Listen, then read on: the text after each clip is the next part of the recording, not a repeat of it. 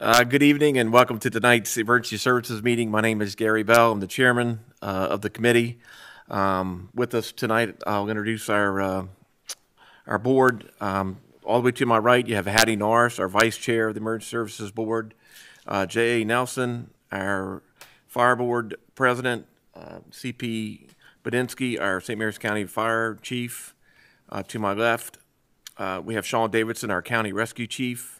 Uh, to his left, we have uh, our new uh, director of emergency services, Jennifer Utz, and Ken Hicks, our rescue squad association president. Uh, with that, we'll move into our meeting, um, and we'll look to the uh, review and approval of, meet, of the uh, minutes. Move to approve posted. Second? I have a motion by Sean and second by Ken to um, approve the minutes from our last meeting. Any questions or comments? Hearing none, all those in favor? Aye. Aye. Any against? So ordered. Um, With that, we'll move into our um, EMS study.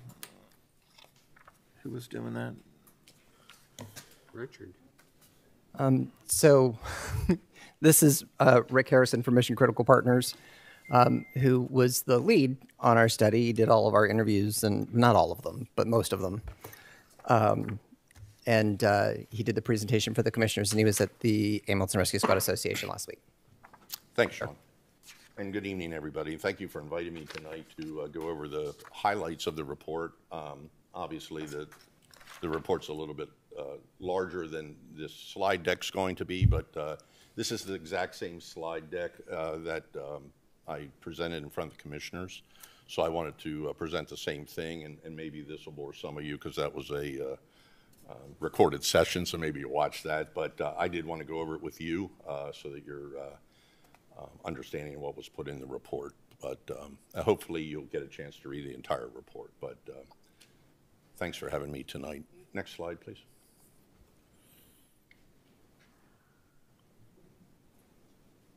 So the scope of the project, and, and this, this was a project by the county, uh, and I want to say, I want to thank all the rescue squads uh, for their uh, participation with us and, and their uh, meeting with us when we asked them, and their uh, uh, giving us the information that they, I mean, we got a lot of information from some, and, and others we didn't get a lot of, so we had to go digging a little bit, but that's okay.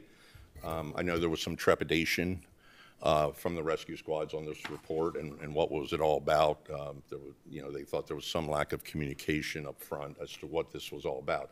This was a report for the county, though. This was nothing against the rescue squads. Obviously, there's stuff in the reports about the squads, but it was a report for the county for the future. Uh, and that's in, quote, in case situation for the future. Um, So it was a manpower study, uh, staffing study, current and projected. Uh, It was a facilities and station uh, recommendation study, and we'll talk about that a little bit. There was some apparatus involved in that and- and units, um, some financial analysis, uh, and the- the current billing methodology. Next slide, please. So with, with that said, the meeting, we did meet with everybody, uh, and you'll see on the, uh, the slide deck that when those meetings took place with the rescue squads, uh, Jim Pottinger, uh, former uh, battalion chief in Baltimore City, was uh, my partner. He did some of them, I did some of them. Uh, And then I came back down and, uh, and Jim met with, we met with uh, Gerald, and then uh, we met with uh, Tom Rayleigh and uh, the county administration.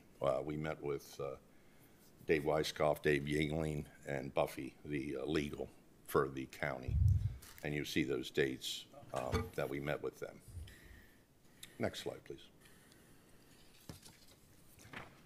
So the first thing I told the commissioners was this map, and, and, you know, I was very, um, very pleased when we did this map. Um, And I told the commissioners that. Th- This is a uh, six-mile road mile from stations, from rescue squad stations. Um, We equate that to about a 10-minute response time, uh, a six road mile time, uh, travel.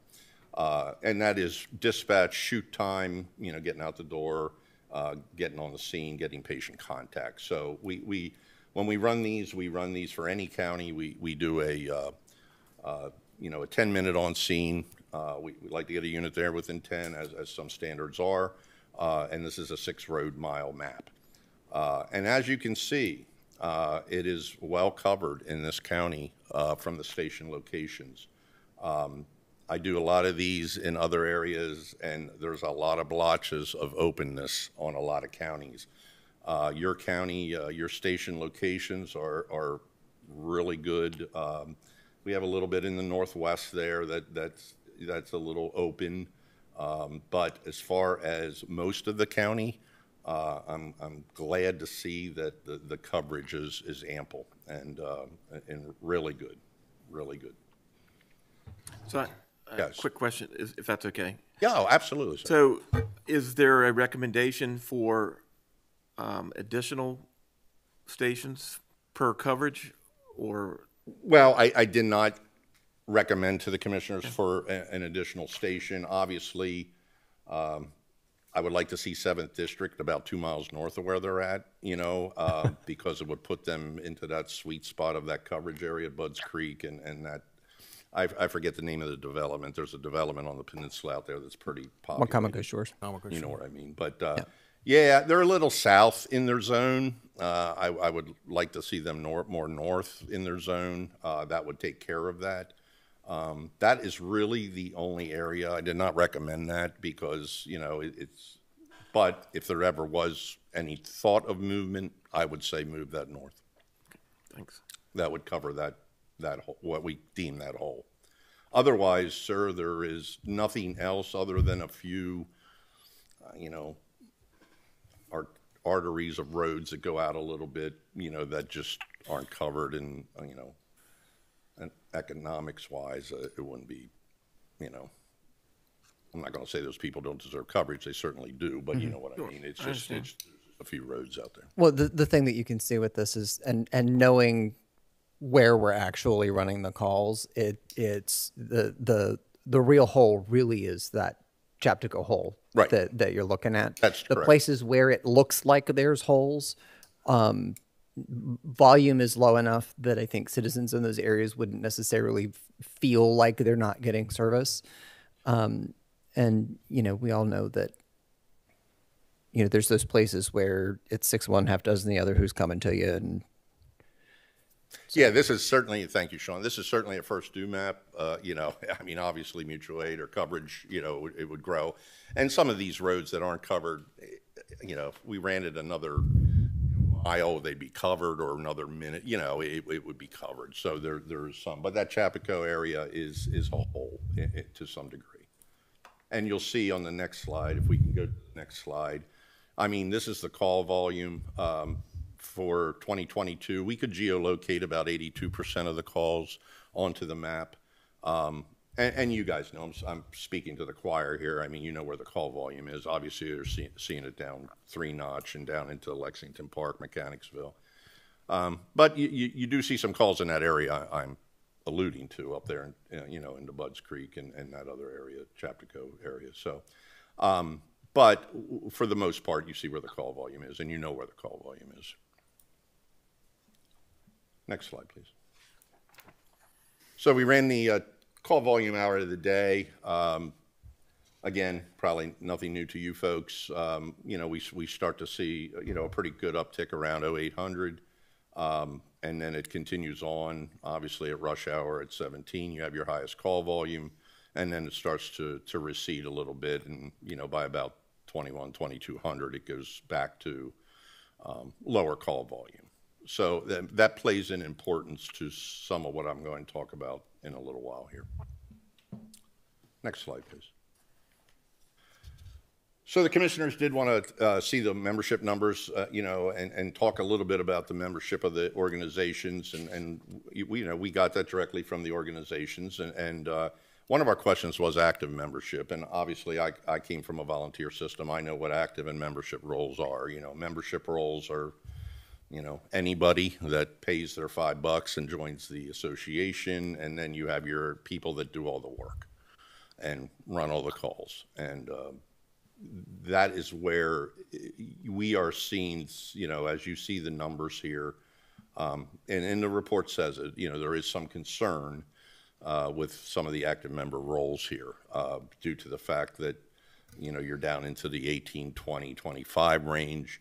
Um, That's a lot of work for a few people. And, uh, you know, it- it's a burnout factor, as, as I'm well aware, being, you know, former chief of an agency and having to worry about, you know, who's around during, during different times and whether I'm going to get a piece on the street. So, I mean, uh, you know, it was said in the report, and I said it to the commissioners, it is of some concern. Um, uh, The more years that go on with 18 people handling all the duties, you start to lose 18, those 18 people. So when we say active, I'm assuming those are the people that are actually Running calls. providing the ambulance. Sitting The, in the seats. Yeah, yeah. So, you know, it's a concern, and, and, you know, uh, that's all it was being shown as, a concern. Um, Certainly, there's, there's no red flag going up right now, other than the fact that some of those numbers are a little uh, lean. Next slide, please. So we did a missed calls or no response, and I want, I want to say that this is no matter of a uh, career crew in the seats or a volunteer crew. The missed calls is the combination of either, so it's, it's not just the volunteer side missing calls. This is a uh, table, but you can see that there's uh, that percentage of missed calls um, and the uh, missed calls in general, the total. So again, that's a, um, you know, eh, twenty percent. We're getting up there a little bit. Lexington Park does, does do volume, and, and certainly that's somewhat understandable. Others are doing very well, you know, with a one percent missed rate. That's, you know, it's fine. Do we, so my question is, so is this just the volunteer? No, No, no, So it no. includes the, the It was In everybody. I'm twenty-two, in sorry. twenty-two, we were under con, under the contract, but so it includes both. Yeah. Um, and just one of the things that we talked about uh, at the association, the, the way Rick got handed the numbers, um, it it makes the Lexington Park numbers a little inflated. There's about three thousand extra calls in that Yeah, there is. um, because the way he the way they were given the data the the um, the places where both stations were dispatched on a single call were caught in that data so it's not a direct comparison to what the rest of the departments are doing so there there's there's a, there's fat of about 3000 calls um, in that number and that I would that assume skews all there's that Been an improvement from twenty-two to twenty to now. Would, would you Yes. assume that? It- not assume we know We've there's there's them. numbers Yeah.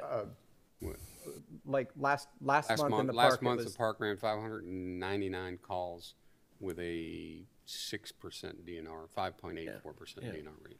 I guess my, my, Combination, my question would be, out of these numbers, how many is career staff and how many is volunteer? Did we have that broke down? it, it wasn't parsed out in the in the data. Okay. Um, and uh, honestly, it, it probably we could have, um, but it doesn't matter because what we're looking at is what's the what is what is the citizen getting, and that was the whole point behind this exercise was, Yeah. you know, what what what's showing up at your house. Nobody, No, no, I Yeah. but it gives us an idea where we yeah, plan for in the future. you know, right now, last month in the park, I, out of the five hundred and ninety-nine calls, the park, the volunteers covered twenty-five percent of the call volume, and the career staff covered seventy-five percent of the call volume. Thank you.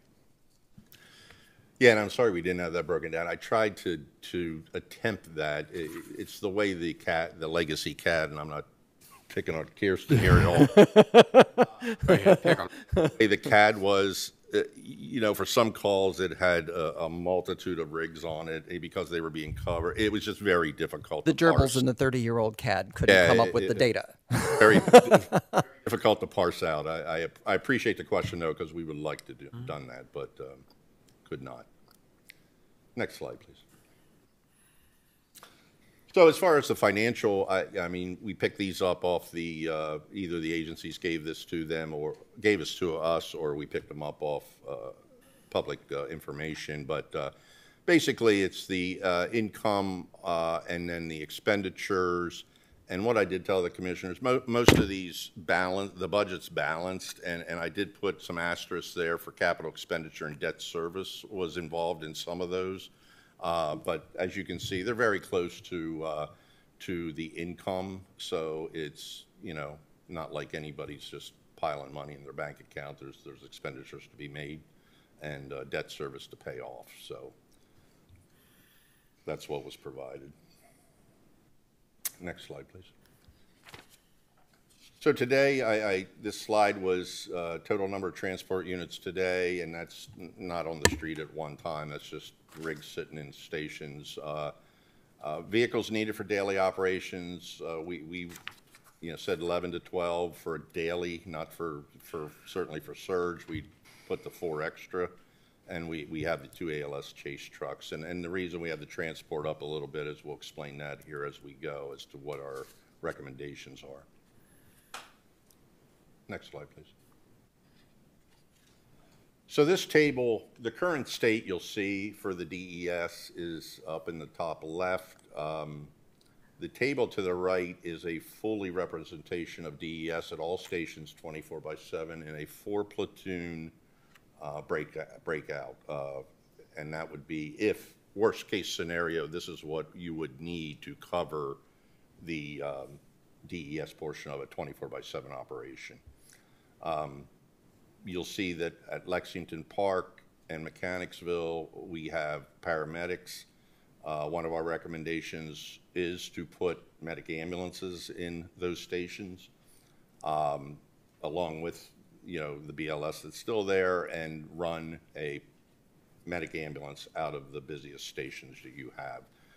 It would relieve some of the call volume on those other units. It would relieve the chase trucks running around the county uh, you wouldn't need a chase truck chasing a medic ambulance. They could handle it, you know. So basically, our recommendation is, and then I showed you the call volume prior, you at least have a 12-hour, you know, eight, 0800 to 2000 or 1000 to 2200 or whatever you want to run it, at least pilot that uh, at, at a 12-hour shift, uh, a medic ambulance and, and see how that plays out for you. But uh, re- we feel that a hybrid system here between paramedic ambulances, BLS, and chase trucks would be the, um, our recommendation. Next slide, please. This is just a uh, slide to show the commissioners' costs. Um, I've, I've been, I've been told I'm low on this, and I probably am. Uh, Vehicle costs are probably over 300,000, probably more 350 on to 400 now, the way things are going. Uh, Equipment costs could be a little higher too. Th- th- This is certainly could be at 850 to $1 million thing here if, if, uh, that is to start up a unit from ground up.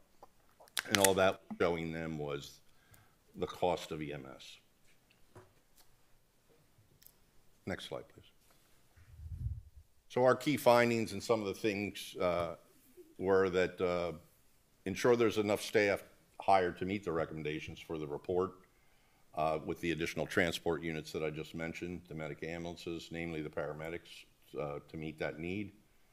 Uh, Compensation, uh, we, we feel there needs to be a career ladder within DES.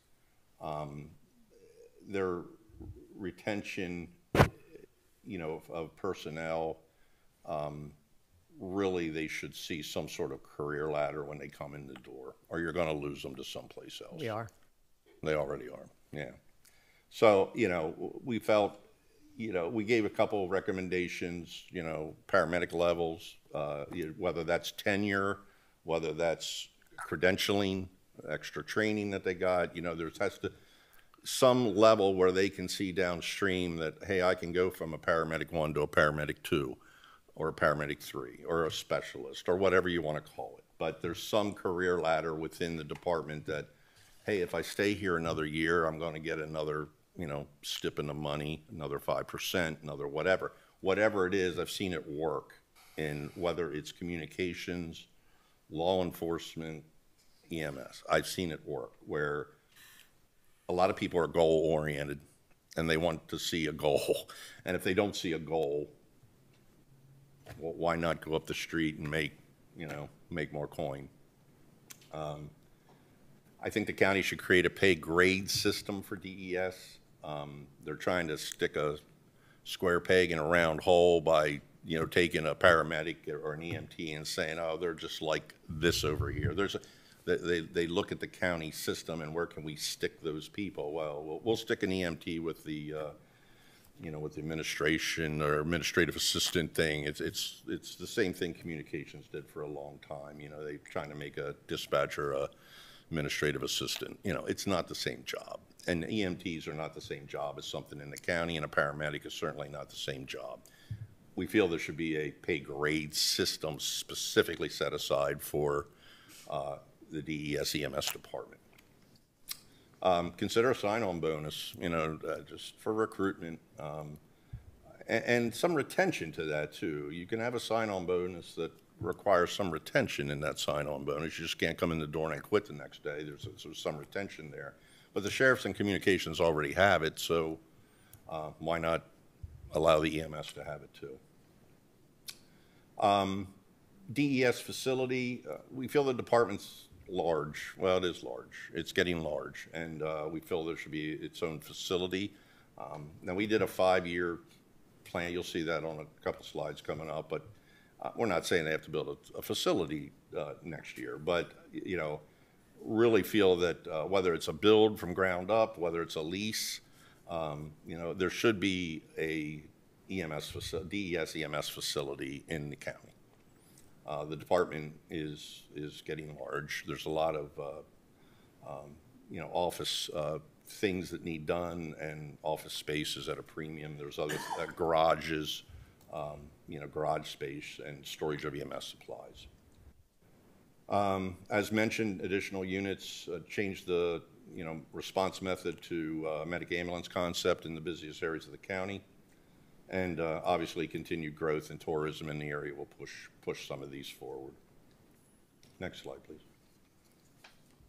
So what we had here was the five-year um, plan. Um, I'd like to see some more roles within the DES department that would handle some scheduling, quartermaster duties, training, uh, a volun- volunteer liaison, and billing help. Um, They're a little thin, their lieutenants are doing a lot. Um, They're, they're taking on more roles than what, I, I talked to somebody today that's putting in way too many hours for a human being to work. Um, it, it's craziness, and, and it's all because of these ancillary duties that they have to do. They're, you know, it's like you got your day job, and, and you know you have have this all these jobs over here too. You got to do so. Um, we feel there should be uh, some support staff within uh, DES uh, increased. Excuse me. Um, St. Mary's D should pur- purchase transport vehicles for use in volunteer stations. I mean, this is a consideration that I brought up to the commissioners. I mean, basically, they're getting large and they don't own a thing, really. I mean, they, they own a few things, but they don't own a lot. Um, They're using the rescue squad vehicles. Um, There's, and, and the report shows it, so, you know, there's been some complaints about the usage of those vehicles and, and the misuse of those vehicles in some people's eyes, and some accidents and things like that that aren't being reported. And with that said, um, to alleviate that problem is to start thinking about purchasing your own units. Well, you know, I'm I'm going to tell you. I'm going to say it here now instead of at the end, like I did the other Absolutely. night. Um, this is this is one of the very few places where I pretty strongly disagree with. I, I, I see that kind of an expense as a wasteful expense. Um, it's we're we're already spending millions of taxpayer dollars on transport equipment in St. Mary's County. Uh, it just full stop. We're there. Um, we've got 26 of the freaking things, and we're not using them all, all the time. So, um, and and to be perfectly blunt about it, none of the uh, none of the complaints that people have had about drivers in particular from DES are any different than complaints that I've heard for the last 35 years from volunteers about people who drive the ambulances. It's it's all the exact same stuff. It's just different people to, to complain about. Right, right. Um, you know, and so there's a there's a there's a, I, I think that there's a place here where we need, we need to be asking for an attitude adjustment rather than let's throw more money at a problem. We have, I- in my opinion, there are much better things to spend money on, like our people. I appreciate I, that. I, and I, I concur, I concur. I mean, it's, it's- it, um, from being fire looking in on rescue, but we have twenty-six units and we're only utilizing eleven to twelve, I mean, you know, and we want to go out and buy more when we already have some in reserve. Now, how you work that out, you know, that's not, that's, Yeah, I, I think too, like, the biggest complaints that I've heard from other chiefs in, in the, in the organizations is, it's not the main thing of using the vehicles, it's the fact that, you know, the squads are paying for the gas, the squads are paying for the supplies, the squads are covering the insurance claims, so, you know, if DES wrecks an ambulance, you know, the bill goes to, you know, Hollywood, it doesn't go to Department of Emergency Services, you know, or something like that. So that, that, that's where your complaints were. And instead of buying more units, is just working out some kind of thing to where the county, you know, compensates the, or the squads for, you know, either insurance coverage or whatever Or somehow. help with maintenance Or help with maintenance. Or, you know, there's, there's, I, I just, I think there's better ways to spend our money than that. No, I- and I, I appreciate that comment, Sean. Nope, I, I certainly understand that. Um, where was, uh, oh, a- as the fil- facility, uh, and I, and I was told this was tried before, and I told the commissioners this, that uh, centrally located warehouse for, for bulk EMS purchases, I think there is ec- ec- economics that could be saved here uh, of scale with, with a uh, locally, instead of everybody siloed buying their own supplies. Um, But that is if there would be a centrally located uh, facility with a quartermaster, somebody that controls all that. Well, and, and that was the problem that we ran into trying to set it up before. It wasn't that we actually got it stood up and it failed. It was that we, there isn't really a feasible place to, you know, make that a thing. Right, right. Understood. Um, Again, with the facility, the garage facility for the response units, um, you know, it, it- being out in the weather isn't, you know, uh, you know, the greatest thing in the world for any unit, especially with narcotics and things like that on board, you have to keep it at temperature. Um, We have hired two captains or two additional lieutenants to supplement management and be assigned ancillary duties. Again, that, that spins back to the fact that we felt the, the DES was stood up very quickly back in the day, and it's kind of a reverse uh, pyramid.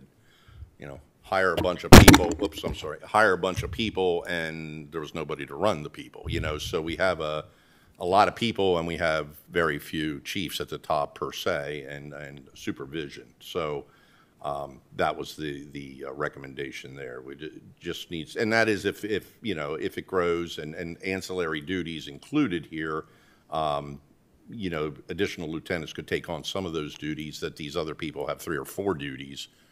Now they're back to maybe having two duties each instead of four. Again, DES pay scale restructuring, uh, as I mentioned. Next slide, please. Uh, Establish part-time minimum shift requirements. Uh, One of the complaints we did hear from the Rescue Squad Associations was the part-time staff at DES. Um, They feel the uh, tails wagging the dog, the part-timers call too much, you know, uh, you know, call their shots too much, and there isn't established rules of part-time.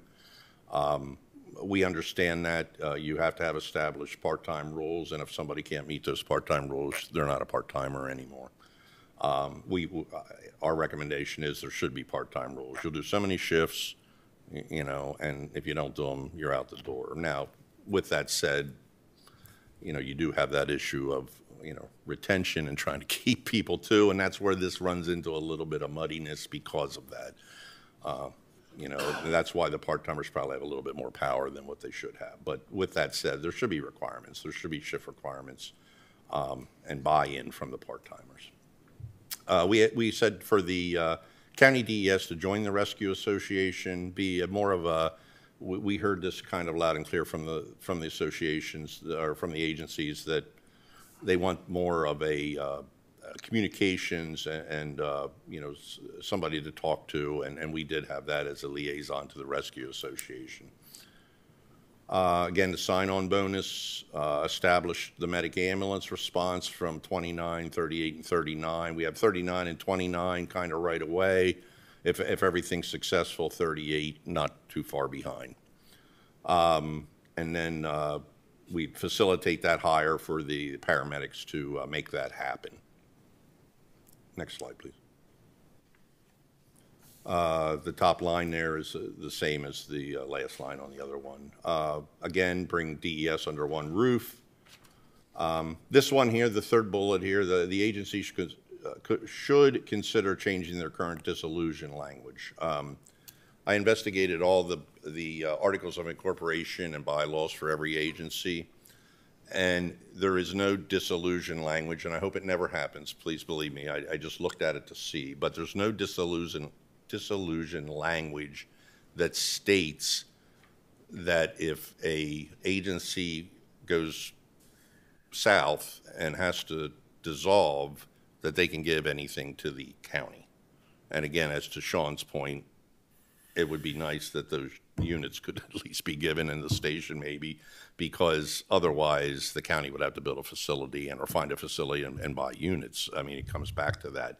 Uh, the dissolution language in the articles of incorporation for most of the agencies not say, or they can give it to the county. It says they can give it to a, another 501c3, which the county is not. They can give it to uh, another agency, you know, because of that, but there's nothing stating they can just hand over their resources to the county. And when I say just look at it, that's what I mean for agencies, just to look at their dissolution language. You know, and I'm not saying if that happens, you have to give them to the county. I'm just saying that there is no option out right now that that would be legal under the dissolution language. Um, And then the uh, EMS billing data collection workflow uh, has to improve. We have it in the report. Um, And, and another thing we heard is, is, you know, the agencies would like to see more uh, transparencies in the billing. And, and in the report, it shows transparencies of the money made uh, uh, from the billing. And, and, you know, we see no problem with that being transparent. That's, that's, um, but the workflow of that and, and talking to the one staff member today is, you know, there's a lot to that and they need uh, certainly to be on top of that to get the most bang for the buck. Next slide, please. Oh, that is the last. So within the report, there's a lot more. Um, You know, I hope you read it. Um, You know, I appreciate, you know, Sean's comments. Uh, You know, not everything you have to agree with. Uh, It is what we saw when we were here, and, and I, I do want to say, you know, you guys do a fantastic job. I, I, uh, it was my pleasure to come here and uh, do this report. Uh, I enjoyed it, and, um, you know, uh, fantastic job by the associations and the fire departments too. It's, it's a pleasure to be here. Any, any questions? I got some questions that probably, I'm sure Sean and, and Ken could ask. Do we, what's the current, uh, labor, FY twenty-four labor funding for DES staff? Do- What's the current, do we know that number? What did we, what, did it- the- I- are you asking what's the budget for staffing? For FY twenty-four for staff, for DES? Do, do either of you have, uh, wrong guy to ask, right people to ask. Do, Gerald, do either of you remember off the top of your head? Number off the top of my head. Okay. As far as, when you say DE staff, so I don't have either number on the top of my head. I can get it. I'll be more than happy to share. I guess my send question was, is how much have we bought in from EMS billing currently, uh, for same, for EMS billing for this fiscal Approximately- year versus how much we're paying out in, in labor dollars? So we're nowhere close what we're bringing in versus what it's costing us. Correct. Uh, Since this started EMS billing, I believe it's around five million that we brought in through billing. Uh, and we can get you those numbers. No, I, I just, Um, But again, as Rick and we work very ex- good together, but a lot of time and effort was spent. Um, The billing, we were at roughly 55, 60% of billing, which is great. yeah. that's Um, wonderful. We know there's some shortfalls. Uh, We've had some very lengthy conversations with MedStar. Uh, There's a meeting hopefully next week that will help tremendously in our billing process. Um, It's huge. Still a good statistic though, Yeah. fifty-five, sixty percent. Yes. Yeah. And you kind of answered my question. Has any county, county volunteer stations EMS stations came to the county to ask them to buy their apparatus or anything prior to, or, or has that happened?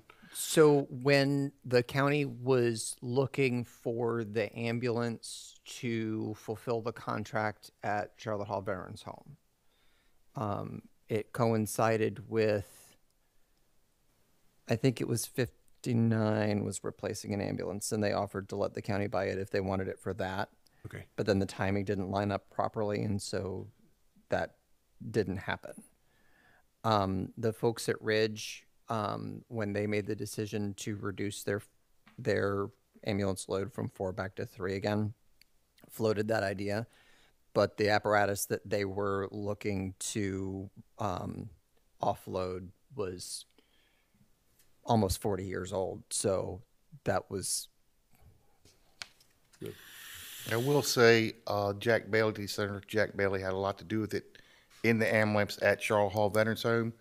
Um, so the state government gave two hundred thousand, which Picked did not Yeah. nearly cover the cost of that ambulance.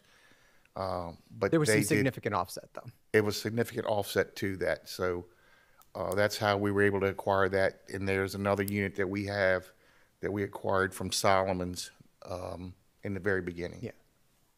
The, like the very very beginning. Very, very beginning. Uh, I guess my question would be, do we know of any volunteer EMS stations that are replacing, got units coming in in the near future that would be a good opportunity to start the discussion with the county of maybe possibly purchasing those units from that? Short answer is no. Um, and the long answer is that because for most of them, what's happening is trade in options because it makes it a whole lot easier to, to buy something. I mean, that's the, the plan in the park.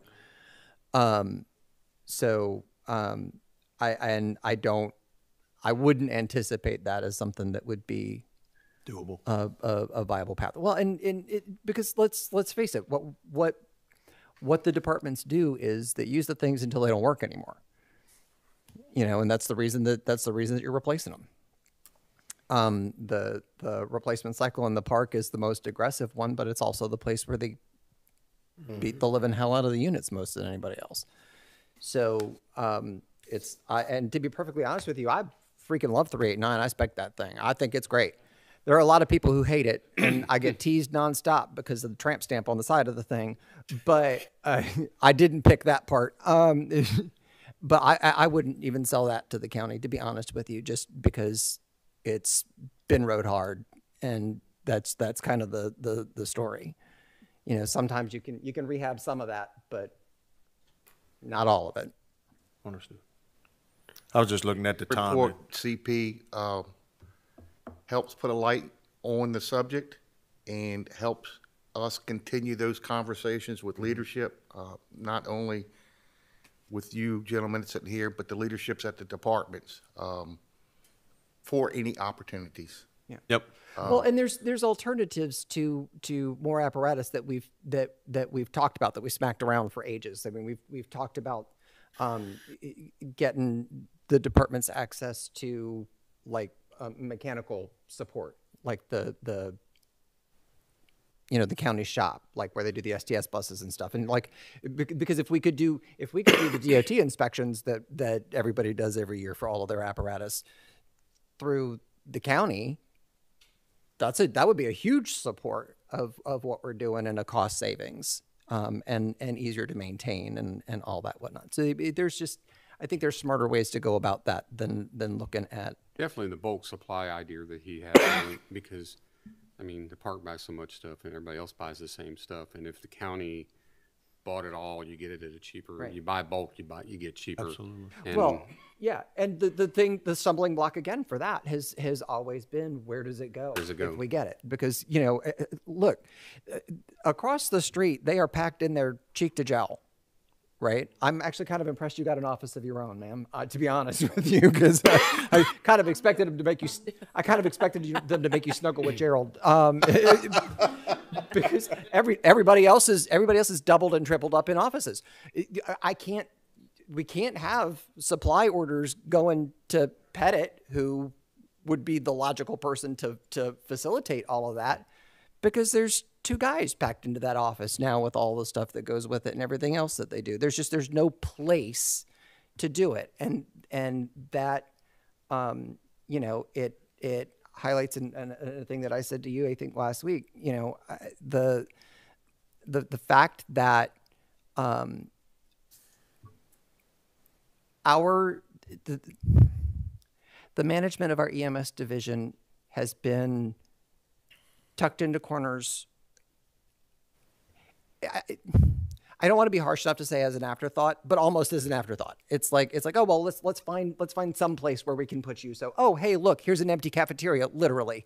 So we're gonna put six people in here with all of your stuff and you know it's and, and that's where the ems chief's office is i can't have a private conversation with the des ems chief in his office because there's five other people who work there so you know and it doesn't need to be like that there are ways around it um, it's just convincing some of the folks who are in decision making positions to make decisions they don't want to so that we can run an efficient system and I'm I'm gonna I actually th- this is proof that Sean's not a politician in any way, shape, or form. Um, I literally sat in front of the commissioners and said, "I told you so." When they approved the uh, additional lieutenants, because what they've approved in the budget for FY25 is literally what I sat in front of them and recommended to them that they do when we started at the very beginning. Would have been smart at the beginning. So our our infrastructure is three years behind, Yep. and you know it it. I, I appreciate that um, what you see is a thing that, and I said this to you too, stuff I've been saying out loud for the last five years. Um, and it, it's I, I appreciate the the work that went into that and um, the the careful consideration, the validation. Honestly, Yeah. you know. And again, I, yeah, and I appreciate that, Sean. I mean, I, I look at all you, folks. I mean, I'm probably preaching to the choir with three quarters of this report, you know, but it's, it is what it is. It's validation. And, and, um, I feel strongly that you have a good base here and it just needs some tweaking and some additional things. Well, and I, I, I feel fortunate, honestly, that I, I think we've got some personalities in place right now that are going to make a lot of the things that we going that, that, that we need to do a lot easier. Um, it, it's it's the um, the the the amount of communication and connection that we've had uh, j- while we waited for Director Utz to get here the, the deputy directors did an incredible amount of work to improve the relationship that existed between our existing service and our DES partners. And, and uh, we are, we are very, very fortunate now that we have that kind of framework to build off of. Um, and I, I think that, um, you know, I think as we move forward, um, I, I'm, I'm going to talk about you like you're not sitting there for a second. Um, but I, I've been really pleased with um, how, how quickly the new director has hit the ground and like, you know, uh, really engaged with what it is we've got going. And she's made sure she knows what we need and she's busted her tail to get it to us and work with us, not around us. Um, and that kind of vibe, I think, is is a thing that we really, really needed. And I think now is a really good time for it to have. So Great. I have high hopes. That's good news. All right, are there any other questions? All right, thank you. Thank you very Yes, much. sir. Pleasure. Thank you, Rick. All right, next on the agenda is the emergency services report. Uh, Gary, if I could interrupt for just a second, I don't sir. remember if we acknowledged You know, the I fact that Dr. at- Martin is, is on with us this evening. Would you mind? Um, so Dr. Janelle Martin is on with us remotely. She is um, covering for um, our medical director while he recovers after after the crash that he was involved in. Um, she is the Region One EMS uh, uh, regional medical director, um, and she's been um, really awesome and a, and a and a good partner for us um, while we've been working through some of the stuff in Dr. Finkelstein's absence. So thank you for being with us, ma'am. Thank you so much for the invitation. I appreciate the opportunity to be here. I know that I am incredibly new, um, so I appreciate your tolerance in that as we yeah bridge the gap until Dr. Finkelstein can be back with you all. But please reach out at any time. Your individuals there have my contact information, and I'm happy to help in any way. Thank you. Thank you. Okay, emergency services report. All right. Well, good evening. Um, and um, so first, I don't have a, a full report. Obviously, I think I have eight days in the chair. Um, but I do want to thank uh, the county administrator, um, Mr. Weiskopf, and the county commissioners, and, and certainly uh, many of you uh, for your confidence in me. Um, so I have arrived, as Sean said, um, and, and, and as I would, uh, and trying to take everything in, learn as quickly as possible, but with due regard, right? There's a lot to learn about a new system um, and managing relationships. And so I really thank each and every one of you um, for extending the warm welcome and being so accommodating. And I, and I sincerely look forward to working with everyone here in St. Mary's County. Uh, my batteries are charged and I'm energized and I think the staff uh, feels my presence every morning as I walk in the door. I really want to thank, and I'm sorry Gerald walked out, but, but both of the deputy directors, uh, Kirsten Shea and Gerald Gardner, um, Sean stole a little bit of my fire here this evening, um, but both of them for their steadfast commitment and devotion to emergency services and everything they've been doing here on the ground uh, for a little over a year as they've searched for the director. Um, they've been very welcoming and accommodating as well. And I want to thank you and know that the work you've been doing and will continue to do, and the three of us moving forward, um, is going to be good work. Um, so thank you from the bottom of my heart, and I know the community thanks you as well. Um, it does not go unnoticed. So uh, incredible, incredible people at work here. Um, so just real quick, you know, I come here uh, with some 32 years experience. I got my start too in the volunteer system in a little place called Carroll County, uh, and then was fortunate enough to work a career for 24 years in Baltimore County. So, uh, a diverse portfolio uh, of experience, professional experience that brings me here, and I am again just very grateful for the opportunity to serve uh, alongside uh, with each and every one of you. Um, and there is uh, good work being done here in St. Mary's County, and we'll continue again to do that that good work. Um, you know, the sort of the, the foundation that's been built here, and, and the way we'll continue forward, um, is first and foremost, right? Is the reason we're all here, um, is the commitment to public safety and public service. Uh, each and every one of us sitting up here and in the room, that is that's our calling, is public service and public safety, and we'll maintain that commitment, that customer service, community relations, all the things that, you know, that the whole reason that we are here, and that is to serve. And uh, I just want to reinforce and my commitment to each and every one of you. Uh, relationship management is uh, is uh, priority one, and I think the deputies have done a nice job, as you said, Sean, of establishing that relationship, and it is my intent to continue building that relationship. Um, and so I look forward, I know I have some meetings coming up with everyone, uh, getting around the county, meeting the volunteers and the volunteer fire companies and rescue squads. Uh, like I said, give me a number, not uh, a name, not a number, because I won't recognize them right away. um, but I will learn um, as, as quickly as I can. Um, but but uh, thanks everyone for the warm welcome here in St. Mary's County. I'm making my roots here in Leonardtown and finding it a very lovely place to live. That's all I have for the report. I'll give you some more, some more in two months when we have some more to share.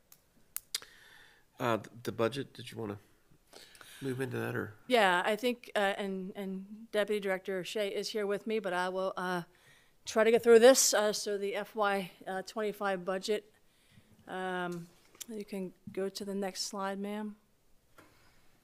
And Kirsten will back me up here. She's, I got my training wheels on here this evening, right? So, um, there were some positions uh, recommended, um, and for the FY twenty-five budget, uh, which are the two, uh, medical duty officers for EMS, um, to expand, uh, the current span of control for our EMS personnel. Next slide. Uh, There was recommendation for a differential increase for night differential for EMS and Communications Division personnel. Those are folks who work the 24/7, 24-hour day schedules. Next slide, please. Uh, There was recommendations for equipment form submissions. Uh, There was a recommendation to support 100 of the XL 400 portable radios uh, for the fire departments. Um, The 90 pagers were not recommended in the FY '25 budget. Next slide, please.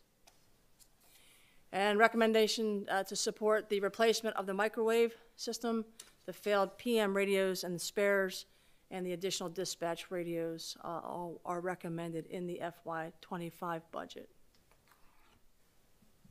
And that's, so, um, so as we proceed through the budget process, again, I'm new, so the deputies are helping me along, but we do have the appeals, uh, that if we have any appeals within our budget, uh, we must submit those by the 24th of April.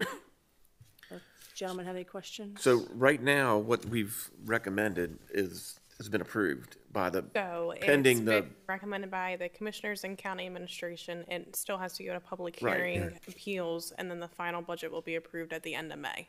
so right now, we're good unless something changes through the. Everything's recommended at this Right. point, Okay. besides the pagers.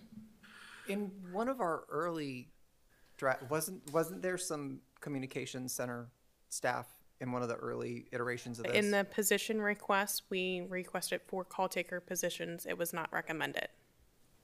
So out of the positions, we had four call takers, an emergency planner, a fiscal manager for EMS, and four MDOs. What's recommended is the two MDOs. Okay. I just, I know that there's been some significant concern about the workload for our For the call taker. 911 personnel. And the need In for a the call room. taker, a dedicated call taker. And I think we even highlighted that in this, this meeting, last time we talked about this, that how important those positions were to hopefully keep in there and Yeah. Um, I would defer to, to your judgment on this, but I, I think that that might be something that's worth keeping an eye on bandwidth and seeing if we can get something like that back in in appeals. Okay. I just I I know very well. Um, I'm not a dispatcher largely because I would never in a million years have the patience to do that. Um, I understand the the stress that they are under and the amount of work that they are doing in the room, um, and especially when we have high volume periods. Absolutely. The, The- call volume, uh, the QA program that we launched back in January is really identifying the need for the dispatcher to be able to focus solely on the call while somebody else is dispatching and processing. So, at least right now, I think we have everybody's attention as far as the needs and the QA program as we have more data for that that will help to support the need for the positions. I know that it's a very difficult budget year. Yeah. Um, many, I don't know, Gerald, if you know right off the top of your head how many positions were approved for new positions in county government. It, Not many. It's very few. Yeah. So, It's, I, I it, it, strikes me as a significant safety issue. You know, I, I want to know when, when I am on apparatus, I want to know that there's somebody that will, ab- that is dedicated to paying attention to me. Yep. And if that means that we need somebody who's dedicated to paying attention to the phone so that, that they're not Correct. distracted by the phone call for, you know, another 911 right, right, right? And It's not that they're, it's not that they're, you know, chatting with Sarah on the party line. It's they're, you gotta love an Andy Griffith Show reference. Um, there's, it's, it's legit. They're, they're doing stuff. It's Yeah, not absolutely. like they're, I mean, any any accident rush hour time on 235, the phones are consumed. We have five to six people in the room at a time, and they're on the phones. And there's still other emergency calls going on at the time. There's other police communication going on. I mean, there's absolutely a need for the call taker position. We're just trying to build the data and the support to help justify it. sure. So just so I'm clear, um, because this is my first budget budget iteration, I am coming in, your, the request was for four call takers, call takers separate from dispatchers. Correct. So currently, the call takers and the dispatchers serve the same function in fire and EMS. Dispatchers do the call taking. Okay, understood, And another goal of that was that it would be an, an additional career ladder, understood. introductory. Right, like a ACT one, ACT two. Yeah. Okay, understood. Thank you. To answer your question, if I remember correctly, there was one person in Parks and Rec uh, suggested there was one reclass for DPNW and T. DPW. And then the two MDOs I asked for four, I got two. That was all that was approved in the recommended budget to take to hearing. I, I'm not mad about him giving us something. I'm just recognizing that that the opportunity cost of what we're getting is still a significant need, and I think we need to highlight that. Yeah, absolutely. Thank you. Understood. And we do, just for your purposes, we do have a meeting uh, scheduled, the three of us um, and Marianne, to discuss uh, upcoming budget. So uh, again, one of those things, uh, fast and furious, that we're working on, getting up to speed on. So I've heard your concerns. I appreciate your feedback. The only uh, other question I had, the, the pagers, I know that's been a work in progress and trying to make sure every, all of them are accounted for. Do we know uh, how many we have available uh, for those departments that do need them for new personnel? As far as remaining inventory, Correct. very limited. Okay. Very limited. Is there any opportunity to, you know, I know this is just uh, strike through to look at lowering that number, maybe, you know, looking at 30 or looking at 40 um, versus just striking the whole 90? Because I do, there are departments that do have a need uh, for pagers because they're just out of them completely. Um, I'm sure it's something that we can revisit with county admin as far as that goes. I know part of the process of us trying to do um, a full inventory and get IT has worked with us to Of help course, build an yeah. inventory so we can really identify where some of those assets are. And um, I know some of the EMS companies do have some spares. We've reached out to them as well as far as potentially shifting some around um, to try to spread the wealth where they're needed, essentially. Um, but yeah, we can certainly revisit that with appeals. I guess our, understanding is that they've been fairly responsive. Correct? Thank you. Well, I- Just I guess our, our thing would be is if any get freed up during the inventory process and the, and the reprogramming, Yep. we, we definitely need them in the fire stations. you know. Okay. Understood?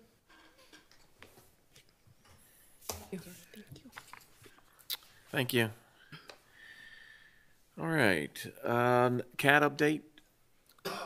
Okay, um, just a brief update on CAD. So again, um, hit the seat last week. Uh, had uh, some correspondence and communication with um, our volunteer partners and also internal, um, and had a meeting. Um, so basically, um, our confidence level of go live for 4:30 uh, had diminished uh, greatly.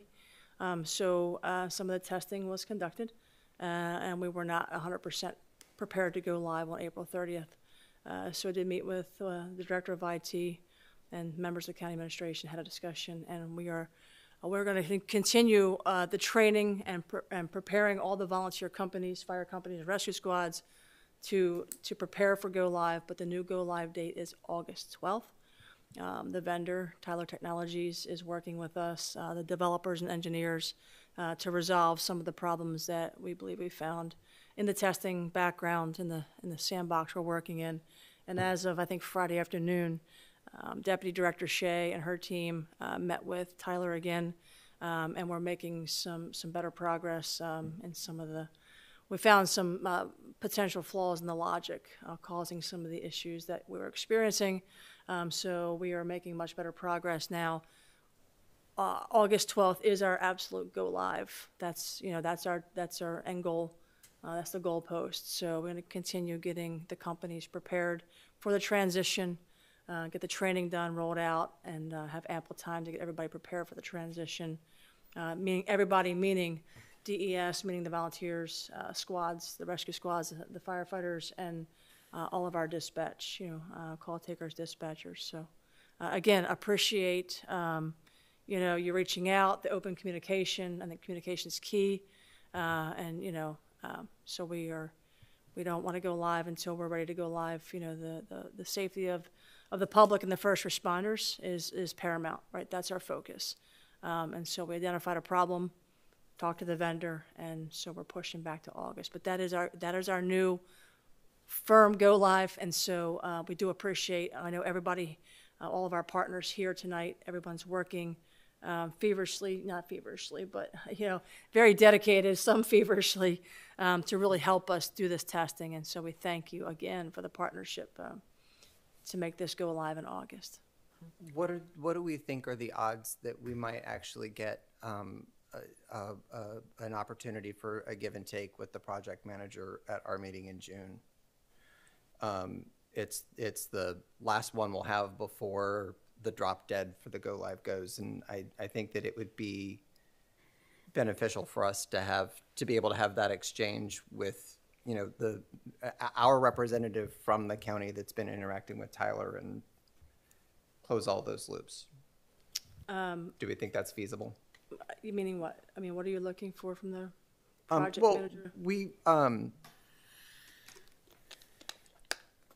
um, the, one of the things that I think that we have struggled with in this process, um, has been, um, the, speaking of communication and, and improving communication, um, you know, we've had really good communication with our DES partners.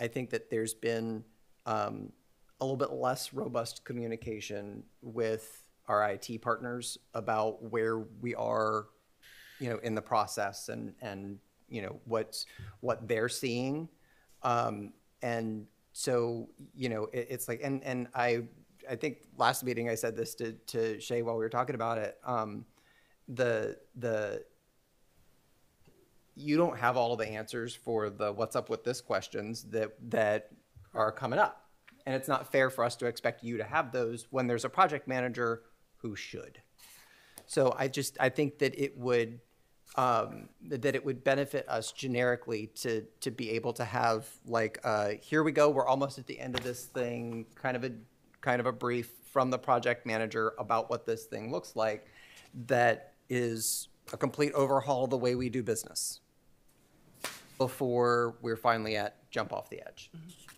I, I mean, if I'm the only one who thinks that way, that's I'm cool, but I just think that would benefit us. Yeah. I'd say let's, let's At least extend the invitation. Right, of course, uh, and, and I hear, I hear that, and, I- and I think there's, you know, some util- utility there as well. Let's, uh, let's work through the next couple of weeks and see the progress we make uh, internally, right?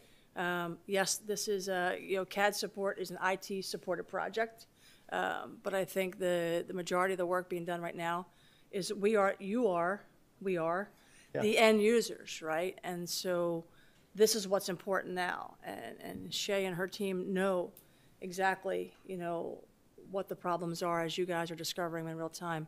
And so I think the, the coordination and the collaboration is there. Um, but let's see where we go in the next couple of weeks about resolving this and getting us where we need to be and get your questions answered. Um, and then if, if there's still a desire, um, certainly, you know, we'll see if we can facilitate that request. Is that I'm good fair? that. Thank you. Any other questions? The only thing, and, and I, I meant to talk to you about this before the meeting, uh, Kirsten, but the emergency networking, where everyone's setting that up, we're able to put calls in currently. We can, we can start using that. Can we, if a department decides they want to exclusively start using that, is that ready at this point, or are we working through some, anything with that? So if a, if a company has a contract that ends June first, or whatever it is with the current software they're using, is emergency networking going to be in a position where we can actually start using it? So I would know it have won't have a to, CAD link. I understand. I that. would have to go back and um, inquire some more. I don't know if we're looking at the old CAD to set up some direct feeds, or if it would be more of a manual entry. Like you've built your personnel in, you've you've built it that way. I'm not sure that they would set up the old CAD to have the feed into emergency networking, but we can certainly ask and get that information. Yeah, and because we've talked about it, I mean, we're, everyone's kind of on like a month to month or a six month extension t- for what they're using, and those that are planning to convert over, we just want to make sure it's seamless. Yeah, so, I can ask that tomorrow and have some follow up and get back to you guys on that. Yep. Thanks. Anything else, Kat? Thank you. All right. Uh, moving along, the uh, cadet program, Kelly.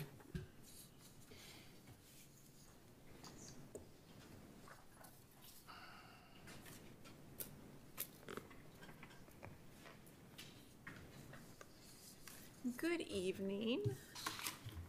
so for our cadet program, um, our fire students um, have uh, completed Fire One, Fire Two, Hazmat, Engine Ops. Um, they are currently completing Truck Ops, and after that class is completed, um, they will be moving into ARF. So I think this year it- it's been a wonderful year for the fire students, um, and it'll really um, provide them with a lot of opportunities for moving to career departments after graduation.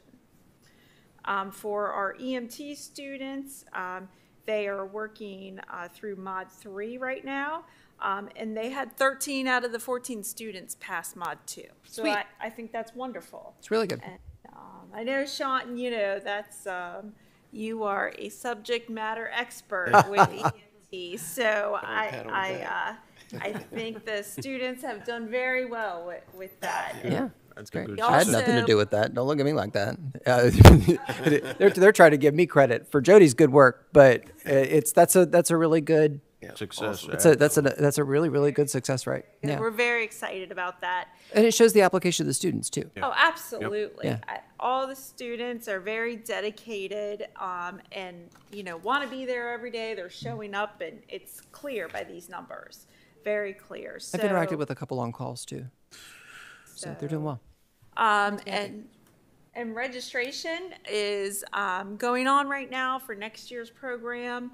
And uh, Jody believes we will have, um, you know, higher numbers um, for both EMT and fire next school year, which is wonderful. Um, but of course, you know, she has 14 students this school year for EMT and 10 for fire. So both very solid classes. You know, it'd be nice to see that increase for fire enrollment, um, which I believe we'll be seeing. Any questions regarding the cadet program? Yeah, on the fire, uh, you mentioned fire one, fire two. They've all successfully uh, completed all of that. No, sir. Okay. No, they've not all successfully completed. Um, we did have, so uh, out of the 10, there were several students who had already completed Fire One. So those students were not required to Right. retake Fire One. Um, so my understanding is that we did have one student who participated in Fire One and did not successfully complete, um, but we did have seven take it. So six out of the seven. Um, and then um, out of those, we uh, it says nine um, took the hazmat, seven passed. Um, fire two, eight took fire two, and all passed. And including Jody, um, in an effort to work towards her fire instructor certification, she as well passed fire two, which is Good. great. Um, so that'll that'll really open it up for um, instructors. And even though they didn't pass, they can still retake, correct? Oh, Yeah. So, I mean, they, they got time to Absolutely. retake it, so. hopefully Right. they'll- And still, you know, it is, you know, as you all know, uh, you know, they're, all the information they gain the first time around, they can use it, you know, so the second time around, they will pass. Um, Any other questions? Yeah, what's ARF? Airport rescue Um, firefighter. It's a new one on me. I just Airport rescue firefighter. And it is a required uh, certification to work for NDW if you're at Pax River. makes sense. And, and several other um, locations, I'm certain. Municipal airports, yeah. So it's very important to have that if you're looking um, to be It's a hired shoe-in. It NDW. is a shoe in. cool. I'm glad we were able to get them that. And I think this is the first year um, that we've been able to arrange that. And I know Jody Right. has really been been pushing that, and that's all credit to Jody Truesdale for that. It's great. Sweet. All right, uh, next is uh, dependent care reimbursement program. Taylor Kill. So the dependent care reimbursement program, um, it began uh, back in 2017, if you can remember, look that far back. We did uh, survey our volunteers um, regarding their need or if there was even a need for um, dependent care assistance. Um, Jessica Myers, um, at that time, she was the chief of Mechanicsville Volunteer Rescue Squad, and, and she really saw the need within her own department. Um, we put out that survey. We had 113 respondents. Um, and out of those respondents, 43 indicated that the the cost of dependent care negative, negatively impacted um, the amount of time that they were able to volunteer. So, um, you know, working with leadership across fire EMS, um, that time it was the Emergency Services Committee and transition to the board. Um, and then we were able to take this to the commissioners, and they were uh, very receptive to this idea. They did, um, you know, very graciously uh, found $22,000 within um, the budget to fund this.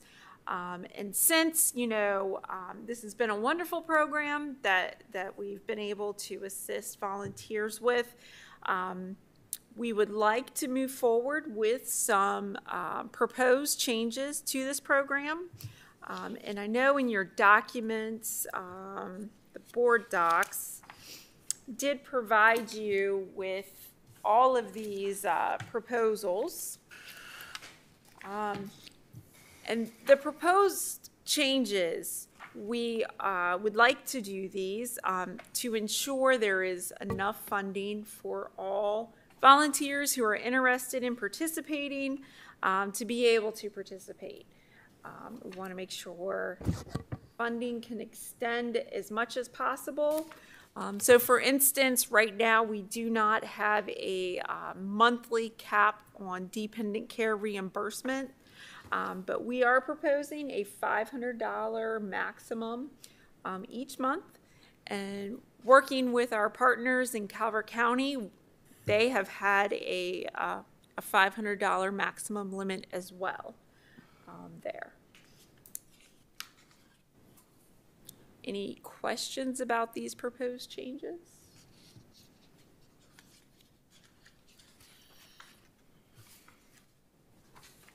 And there's been no changes, correct, since uh, 2017 is what you're saying? Correct. And the program, um, it did uh, start officially um, September 11th of 2018 is when the commissioners approved the program. But um, we did have one update that the commissioners offered us for an increase in the reimbursement rate. Um, but that is the only change we have had since the start of the program. It was like eight to, it was, it was the move to 10 is what that was. Correct. It was the ten dollars per hour per dependent. So when we initially started the program, we framed it um, much like Calvert County's program, but of course, you know, we, you know, we had some differences to make it unique and to fit our uh, framework a little bit better. But initially, it was a minimum of five hours uh, of staffing would uh, make the the volunteer eligible for thirty dollars per child for reimbursement. As we all know, I mean, five hours and you know thirty dollars of reimbursement. That's I mean that's a drop in the bucket. So um, there was you know, of course, a lack of participation by volunteers and and after discussion it was well, why you know do all this paperwork um, when really it, it's really not helping us at all. So that is when um, you know the commissioners were very agreeable very generous again with increasing um, the reimbursement rate to $10 per hour per dependent Um, the the only thing that I want to put on your radar about this, I don't think it's a thing that like scuttles us at all or anything right now. Um, but I think that um, the the length and involvement of an EMT class for a working adult uh, is a significant thing. and, and I would be willing to bet that there are folks who can't get through an EMT class because childcare is an issue for them during the course of class. Um, and so I, I think that, that maybe something that we look at funding dependent in the future might be including those initial certification things. I don't think it would be out of line to do it for fire courses either, but Right. I'm much more intimately acquainted with the 212 hours that it takes to become an EMT in the evening and on the weekend. Absolutely. So, w- you know, th- those, those, those prime do things with your kid times. Right. Um, so I think that, that looking at that in future would be a good thing just to have on your radar. No, and much appreciated. I think that is something that we should um, definitely keep Yeah, on the radar. well, because the line has, the line has to be in the sand someplace. And I think what's here is reasonable.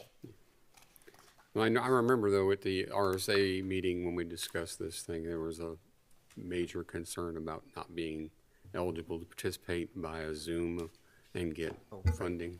So I, I see it's still in here that virtual is not It is. fundable. It is, and and that is, um, you know, a, a concern that was communicated. Um, and I know uh, with Deputy Director Shea, you know, and absolutely, um, you know, it is tough um, because there's only so much funding, of course, Oh, yeah. and um, you know, just trying to find that fine balance and um, we just want to ensure there is funding available for everyone interested. I mean, Uh, I, I look at it like this, that if, if you, if I'm gonna pay you to have a babysitter, then come into the meeting.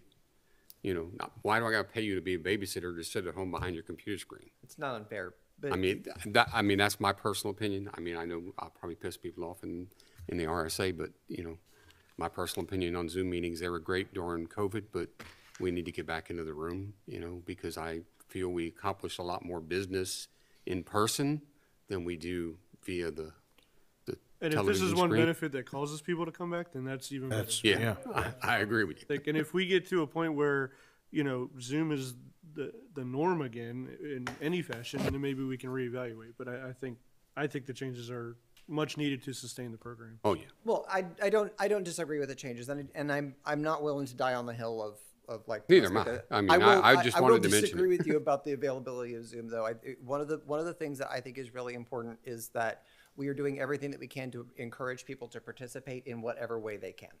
And, and every time we put up a barrier to somebody volunteering their time while we're talking, making all of this noise about trying to encourage volunteer service, I, it's self-defeating, in my opinion. So, uh, which is which is why I, I will continue to advocate for having that available for people as they need it. I don't think it's you know uh, it, it's it's not feasible all the time. Certainly, it's I, I carry myself down to the station in the park for my regular meetings, and when I don't have class on Mondays, I show up at my meetings out in Seventh District because that's what I do. You know, um, but you know it, it's we we do all of our chiefs meetings virtually because it is more convenient for um, the the people in that that I need to be in that meeting and available to do it that way. And so I just I, I- again, if it's if it is um, making it easier for people to give us their time, that's a gift I think we shouldn't be looking in the mouth. And, and I don't disagree with the fact that the, there's a benefit to that, but also having that benefit and having that incentive or whatever you want to call it, Zoom, and then getting paid for that, I think is a little different. Uh, yes, I agree.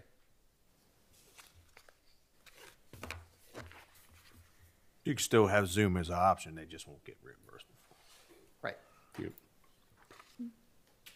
And what is the current budget for, uh, recommendation for twenty-five? Twenty-two thousand. Okay.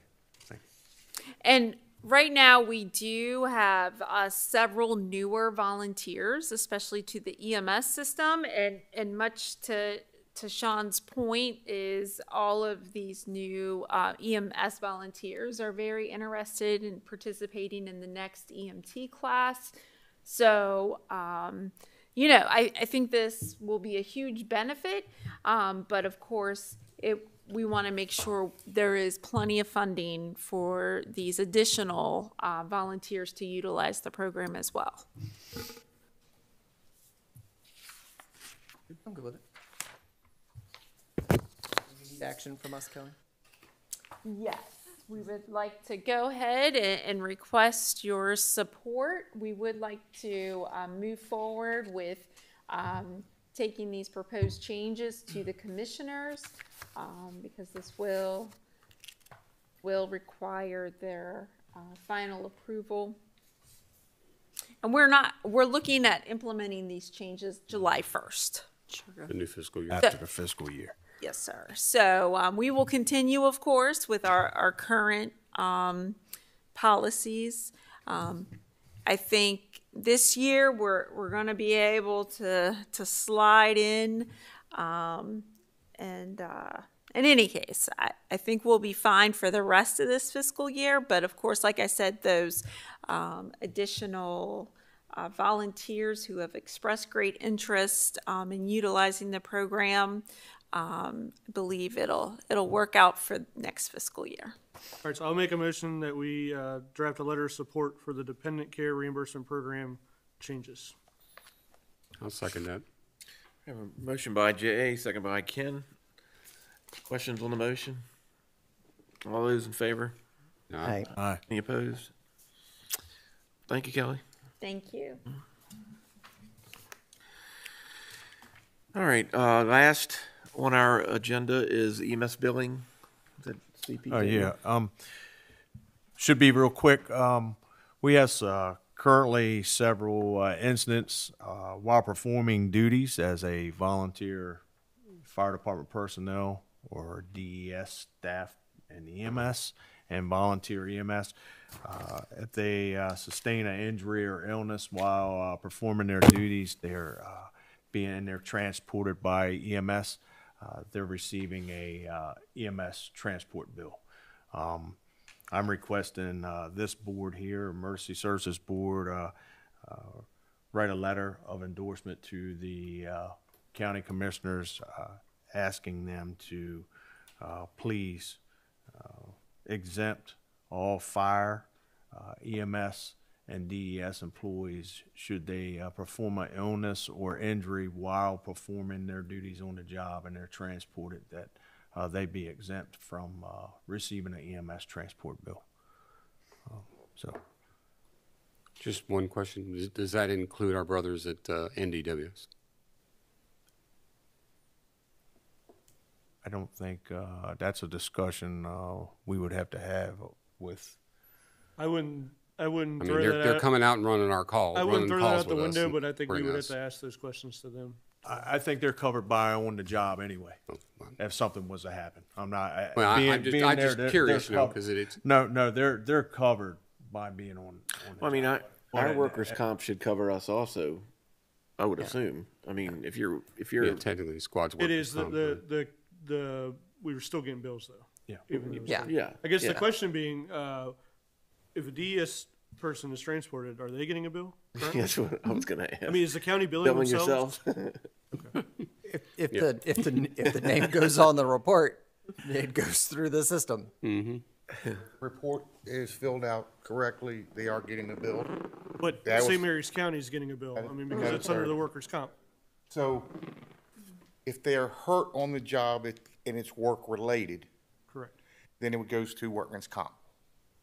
If Gerald has an issue and is transported while at work to the hospital, they would bill my insurance company.